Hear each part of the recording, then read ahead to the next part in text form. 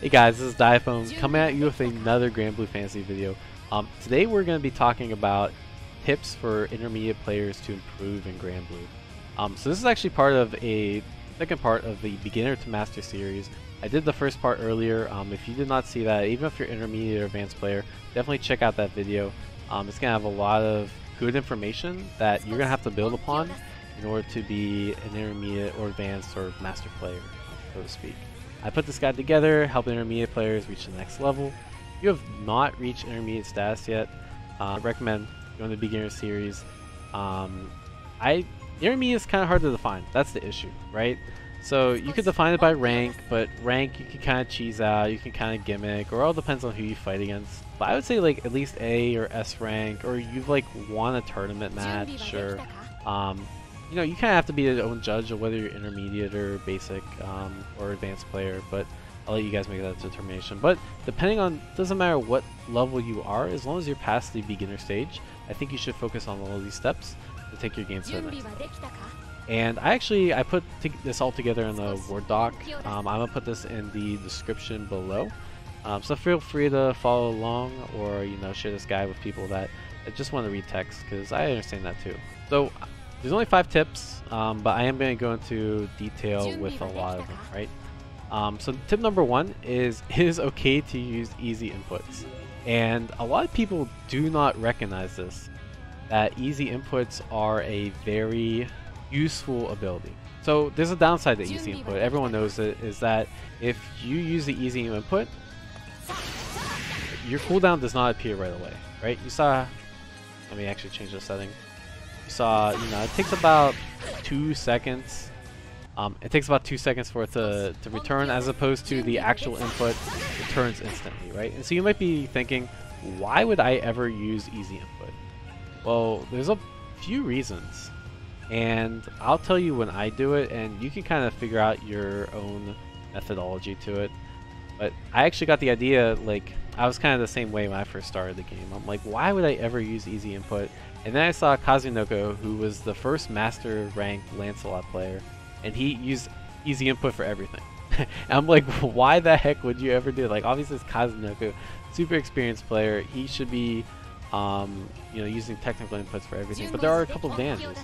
You can mash something out very, very quickly, right? So if you have a DP and you're trying to mash out of a block string and you want to make sure that DP comes out, instead of having to keep repeating the motion, you can literally just hit forward and special button over and over and the special will come out, right? Especially good, you wouldn't really use it on wake up, but you would use during a block string, right? Um, because you don't know necessarily where the gap in the block string might be, or it might be like a crouch late, and that's really hard to react to, right? Um, so if you just mash it out, you make sure you get the, the optimal timing, right? Another good thing about mashing DP is that, okay, your cooldown might be a couple seconds longer, but if you get out, or even if you get hit, the cooldown doesn't matter because you're not going to do another DP right away. So there's really very little advantage to doing a technical input for DP unless it's like during a combo or it's EX1 which is going to take a little bit of time to recover anyways, right? Um, another one is if you want the special move to come out ASAP in neutral. So think about this, I'm playing Soriz and I want to whiff punish something. If I have to do two, three, six, and then the button, that might take, I mean, technically the shortest amount of time it could take is three frames, right? But I'm not a perfect, I'm not a robot, right? I'm not a perfect human. It's probably to take four frames. It might take five frames. It might take six frames. That's four, five, or six frames extra startup to your move that is crucial for when you're whiff punishing, right? Or when you're doing something else. And so if it's a fast move that I want to throw out neutral and make sure I get out ASAP, like a dash punch or for example Zooey's EXDP, I almost always do easy hit because I don't want to people to see me crouching for a little bit or me stalling for a little bit. They might be able to react just a little bit easier um, to that, right? I have two mate overlays. but yeah, so that's another way to do it. Um, it's very good um, when you want to come out faster. There's a couple other moves I can think of. Um, Lance 66C, you want to be able to make sure you can do as quick as possible. Or just so you can get out a few frames faster, right? Um, the other time I would do it is when the input is tough to do. So take for example, if I do crouch light, crouch light, stand light with Zooey, and I want to go into super. This super, if I do non-easy input, it does the same damage, but I actually get, and every character is different. Every character has like benefits to doing easy, um, I mean non-easy input, input compared to easy input. But Zooey gets 10 frame extra advantage on her wake up. But if it's gonna kill, that does not matter, right? And so doing a double quarter circle forward motion, especially like in a very clutch situation, can be easy to drop. And you can easily get something like EXTP, you could lose the match because of that, right? So if I'm doing a situation like this where I know it's gonna kill, I almost certainly just do easy input, right? It's not worth risking it because there's no downside to doing it, right? You get the easy input, but there's no downside because there's no you don't lose out on any damage, right? Um, sometimes during yeah specific combos or really quick hit confirms, um, it can be very tough to do. Like let's say I'm buffering crouch lane the super, which is an actual legitimate tactic, right? It's a very good defensive tactic in certain situations where like if they dash forward, it's gonna catch their dash. I'm not gonna do double super because I'm just gonna whiff it, right? Don't want to do that. So you guys need to find your own technique, but don't think just because, hey, I'm not a beginner player that I should never use e easy inputs. I think that's a really common misconception. You should find out creative ways to use it because you can really use it to your advantage. And that's true. Um, it's also a lot easier to react to with easy input. Easy input super, for example, if you're trying to um, react to a fireball, for example, it's much easier to just do one quarter circle forward to two quarter circle forwards. I mean, yeah, pretty much the same thing as this, but with supers, right? Yeah, number two, use the block button. So, I, I can't count how many times I've hit people with Zooey mix-ups that look like this. Oh shit, I missed the mix-up. Right? That's a cross-up mix-up. A lot of people aren't expecting it. There's literally no reason not to hold the block button there. And it's against a lot of characters you can hold the block button. So I tried to come up with a bunch of examples on why you would certain because you don't want to always hold the block button because it's a little unnatural and it's a little for me it's like harder to OS dodge and it's harder to do certain techniques, right? So you need to get used to holding the block button. Nothing scrubby about it. You get rid of any of that stigma or whatever you want to call it. Um, and I know certain people like, hey, I don't want to use the block button because I'm not used to it. Well, you need to get used to it because it'll level up your game really fast, and it's a system mechanic. It's here to stay, right? So anytime you get knocked down by Zooey mid-screen, always want to, yeah, it's unreactable. An another excuse I've heard is that people have told me, oh, I'll just react to everything. You can do that, but there's some legitimately unreactable mix-ups. Like, why would you ever want to put additional guesses on yourself, right? Just eliminate the guess, don't have to worry about that. So Zooey mid-screen mix-up, anytime there's a dragon out, just hold the guard button, right? Lancelot mid-screen mix-up, anytime you see the EX Fireball come out, anytime they're doing the jump U. Um, Metera mid-screen knockdown, I think it's really good because if they're going to do like the Tiki EX Arrow, don't have to worry about getting crossed up. Bubs teleport, so if like they get a mid-screen knockdown, they have the advantage, and then they teleport where it can be a left or right, then you definitely want to make sure you're using the guard button there. Any character with a roll or ambiguous jump in, right? So you've probably seen setups like this. I'm not very good at because I don't, I don't believe in doing. But something like that is really ambiguous, right? But you can just get out of it for free using the, uh, the block button. So no reason not to hold the block button there. Anytime you see a roll, just just hold block, right? What else? Anytime they're doing ambiguous jumping. So let's take for example, okay, this situation with uh, Zooey. I hit this all the time. People don't think it's gonna cross up, and actually always crosses up, right? You don't have to worry about that. You can literally just hold the block button. Usually the reason I do that is not to cross you up, it's to get out of the corner, right? But if you're not holding the block button, you you're just getting hit for free, right? There's no reason not to hit the block button. Um, some other times you might want to use it. Charlotte EX Demon Flip, very good. Um, like for example, like when they do the L follow up, sometimes it crosses up, sometimes it doesn't. Again, eliminate the guess, just hold guard. Narmaya EX dash. Pretty much like anytime I'm blocking Narmaya on the ground, I don't even try to react to EX dash. I just hold the guard button the whole time. Like there's no reason not to, right? And there's probably others. I, pretty much every character you play against, there's gonna be some situation where you want to hold the block button. Um, and we might find more, right? So definitely play around with it. It's definitely something you have to get used to. When I first started doing this, it felt really unnatural to use the guard blocker. And especially like I'd have a really hard time teching throws with it. Or like I'd be, you know, I'd be holding guard and then I'd accidentally press back to block and then I'd accidentally get a dodge. Or I'd hit forward to run forward and I'd, I'd roll forward instead. So it definitely takes a little bit to get used to, but definitely need to start because it's such a strong tool that people don't. Um, number three tip that I see intermediate players do a lot is they just mash, or they will be really impatient, or they'll just cycle one or two options. Like they'll, they'll cycle throw and jump, or they'll cycle DP and jump, or DP and mash, or something like that. I mean, one, it's important to use more options on defense, but almost always your basic your basic response to most things should just be guard, right? Because now that you know how to use the block button, you've eliminated a lot of the mix in the game, and there's not too much that's going to open you up, except like a command throw or like a overhead if you're laggy, right? Or maybe if you're playing Fairy or some of these other characters, they got really strong mix-ups. You know, you don't always want to guard, right? But against most characters, Zooey included, or your Grands or your Katalinas or anyone that does not have like a really cheap mix-up option, you just want to sit there and be patient, right?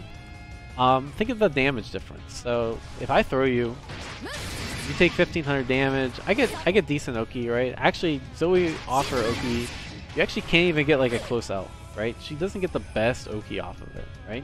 But if you're teching grab, I'm just going to show you counter hit state because that's what it's going to look like. Right, if I have super, you just took almost 6k. So the damage is not in your favor to tech. Yeah, 5.8k, right? You you want to be you want to default. It's okay to sit there and take a throw, right? And you have to take risks to throw, right? Let's say someone likes mashing, you cannot throw that person. So if you just let them take a couple throws, let them think you're not mashing, and then you start mashing, you're gonna have a lot easier time getting out of a throw, right? So I, I, I challenge you guys to do this. Put you put your dummy on block and try to grab them after a block stun. You can't do it, right? You cannot throw five frame jabs. This this game's not Street Fighter 5 where you can throw someone out of their jab. That's not the case in this game. You get knocked down, you cannot throw them on wake up. There's throw protection, right? it's pretty risky to go for a throw. So you want to make them go for the risky option. You don't want to just give them the free openings, right? And that's pretty much what this section says. I mean, a lot of options lose loses throw. You can get DP'd if you throw. You can get overhead if you throw. You can get mashed if you throw, which is the most common. If someone jumps, you can actually punish a jump with a throw. Street Fighter 5 throws are really strong because they beat jumping because you recover in time to punish an anti-air. Um, they beat mashing because you can throw them out of their jab. Um, in this game, it's not the case. Going for a throw is pretty risky. And walking back mid-screen also beats that too. Um, so definitely very okay to take a throw in this game. Very, very okay. So please take more throws. Okay not to mash. It's okay not to always do something on defense because you gotta make them take risks. Alright, so number four is intermediate players love to throw, as we just discussed. So how do you exploit that, right? Try to, you gotta catch your tech. And the number one way to catch your tech, and it's kind of like when I see someone do run up overhead, I'm like, alright, they understand the game. And run up overhead is a very strong option because if you're teching on reaction to any time they just walk forward, Run up overhead will completely blow that up. And you'll blow up almost all overhead I mean all throw techs if you do this, right? So let's take for example, um, I'll just do a dummy recording. Run up throw, and then I'll make the other option run up overhead. And I'll put on random. Alright, and I'm gonna every single time. I'm just gonna run up and I'm just gonna tech. Like do the tech. Yeah, I didn't do a special there, but I got completely messed up for it, right? You will hit so many players with this tech, it's not even funny. At, a high level, there's ways to get around this, like OSs and that kind of thing, but if you're playing intermediate players, you really need to understand this meta. And the best way to understand it is to do it yourself, right? Just start running up and overhead people and see when it works and when it doesn't. If it doesn't work, what's most likely happening? It's they're mashing out. Okay, if they're mashing, you can frame trap them, right? But you have to establish the um, bait game. And if they're blocking the overhead, then just throw them on, right? Um, definitely need to understand that and do, do them in the right ratios, which most intermediate players never do run up overhead, so start there. A easy way to put it. Um, yeah, I think that's pretty much it. So the fifth one, I'm actually, it's not even game related. Um, well, it's not Granblue specific. It applies to all fighting games, but it's very important. And I see this in like every single fighting game I, I play people, right? And when you are an intermediate player, probably one of the first things that you hit, especially if you don't fully understand it, is you hit a plateau, right? And you don't understand why you hit that plateau. And I want to at least give you my theory on it, and my theory is well supported by know, sports psychology and that sort of thing. And I want to talk about ways to get past that plateau, right? Um, so a lot of people, you see this chart on the left, this is how people think their skill is improve, right? When you first learn anything, it doesn't matter whether it's a video game, it's a sport, it's a skill like you're trying to learn at work, or it's anything, right? You're gonna learn very fast because everything's new, and everywhere you peek your head around, or any, you know, new matchup or new combo, it's gonna drastically improve your game, right? Once you learn the system mechanics, um, you're gonna drastically understand how to play the game better. But there's only so many system mechanics to learn. There's only so many gimmicks that characters have that you need to learn. And once you get past all the easy stuff to learn, then you get to the harder stuff. And so your skill does not stay consistent with time. It will slow down.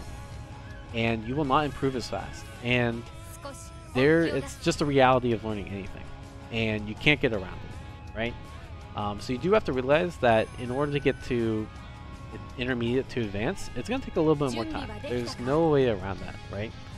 Um, so a lot of people start to get discouraged when they hit this declining rate of improvement because they've hit that plateau and then things like thoughts start to think like, oh, I'm not able to do this or I hit a plateau and I don't know how to get out. Where reality is you just need to put more practice in. Um, but the issue is no one has an unlimited amount of time to put practice in, right? So there's two options based on this chart. If you want to go forward on this chart, you have to put more time in, right? The other option is you can make your time more effective. You can use the hours that you play the game more effectively to get past your plateau. So you can start improving faster, right? And which is part of what this guide is about um, and why it's important to understand, you know, read guides, read information. But I want to share some my tips in order to improve faster, right? So number one is to set a goal, and I use like you probably every, like anyone that's in corporate America knows what SMART is. Basically, you want your goals to be specific, measurable, attainable, relevant, time-based. You have to meet all five, criteria. And so you'll meet people that approach fighting games and they don't necessarily have a goal. Or they'll say, I just want to get better, right? And I want to get better. That's specific, measurable, attainable, not really time-based. Actually, it's not really specific either because get better, I mean, how, how much better are you trying to get, right? Um, so it's attainable, measurable, and I guess relevant, right? So you're missing two of the things. So instead of saying, I want to get better, you know, set the actual goal, like, I, like, what do you actually want to do? Do you want to beat your friend? Do you want to start doing well in tournaments, do you want to get recognized, do you want to have more fun, like me, I have more fun with the game when I'm winning, right? So I wanna, I wanna win more, I wanna improve. Um, I, I personally set goals like, hey, I'm gonna practice at least two hours every day, right? That's my goal. I don't care about results, and you can do it like that. Um, or you can say, hey, I want to win a tournament match by the end of the summer, or hey, I want to make top eight at NLBC, or etc. It's gonna make sure you know what you're trying to get to, so you can develop a path, and a training routine to get to there, right? Because if you just say something very vague, it's going to be harder to grasp and it's going to seem less attainable, right? So it's very important that you focus what you want your effort to be towards. And so the next one is to vary your practice routine. So most players, like I know so many freaking players that will just they think the way to get better is just to hop online and play lobby matches or rank matches for six hours straight and then call it a day, right? And that is not the optimal way to learn.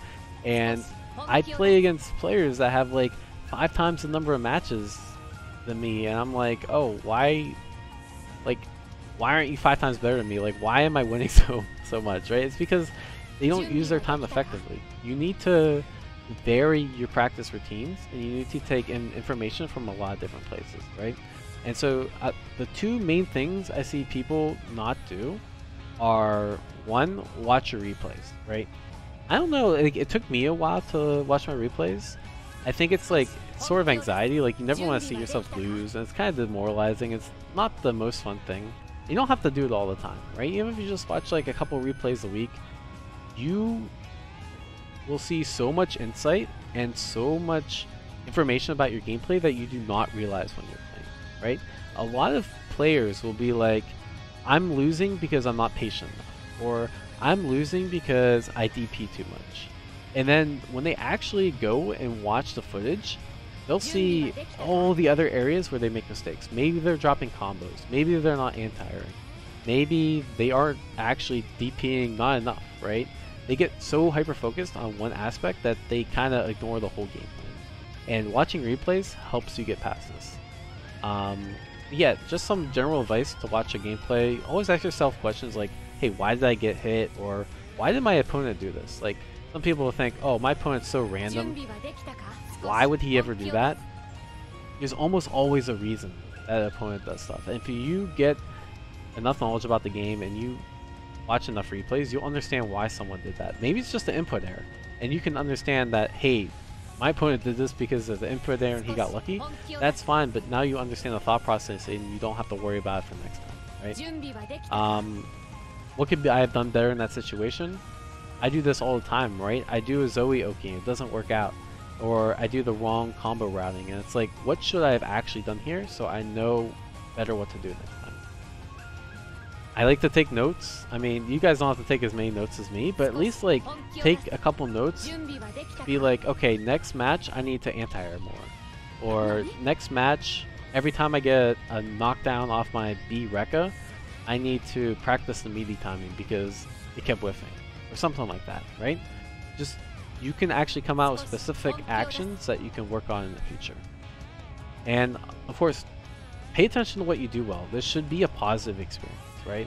So focus on like, hey, give yourself credit where credit is due. Hey, I did really well. I didn't drop any combos that match, or my footsies were really on point there, or you know, I made really good reads against his wake ups, or something like that, right? Make sure you focus on the positives too, because if you always focus on the negatives, you're just gonna get discouraged and it's not very fun, right? So definitely make sure you take the positives with the negative. The other thing that I think people need to do is play more in tournaments.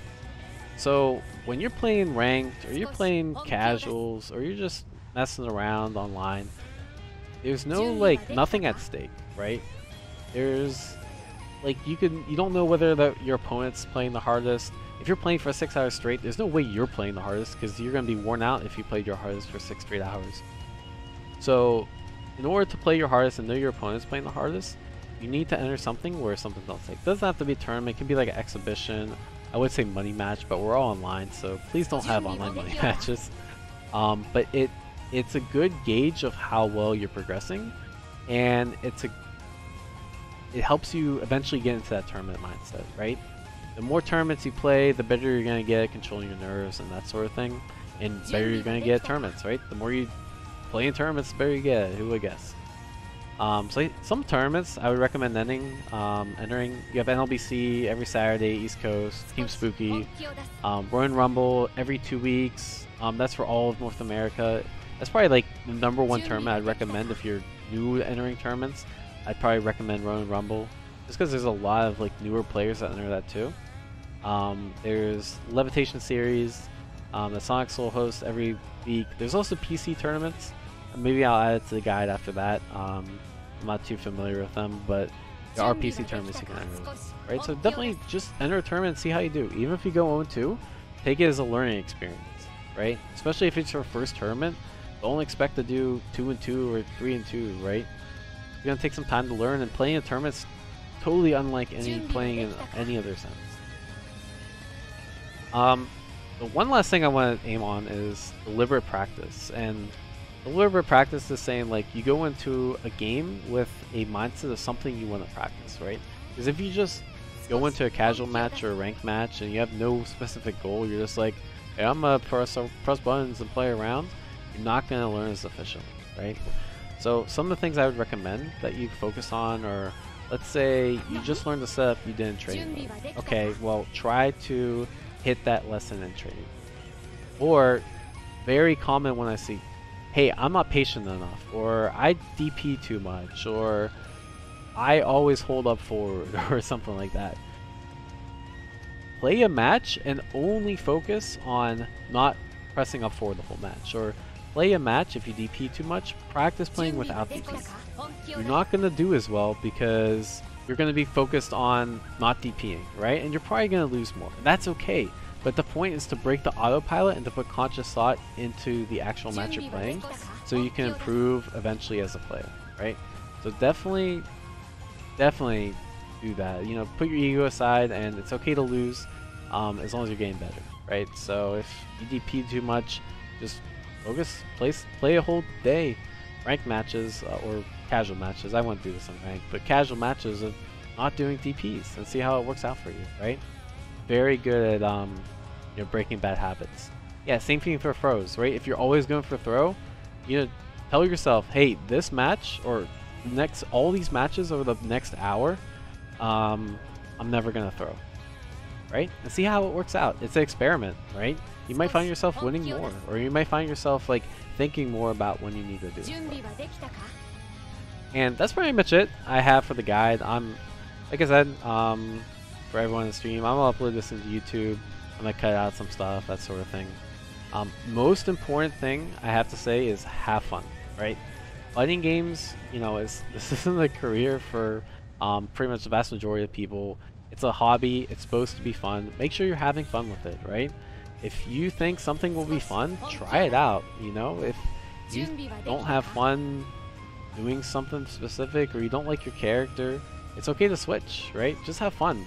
Like, I'd rather you win and not have fun than lose and have fun, right? Because eventually the person that's losing and having fun is going to be better overall in the long term, right? So play the long term game, make sure you have fun. Appreciate you guys tuning in. Um, thanks for all the support. You know, if you're watching us on YouTube, please like and subscribe. Um, you know, leave a comment down in the section below. I'm gonna put part three guide out hopefully next week. Um, but if you have any suggestions or any comments or you have any questions, you know, just feel free to hit me up on Discord or any of the Twitch streams I do. Um, thanks everyone. Have a have a good night.